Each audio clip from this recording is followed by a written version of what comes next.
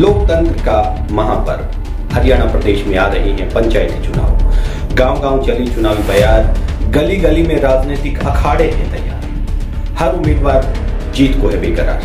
पर ग्रामीणों को आपसे कितना है सरोकार?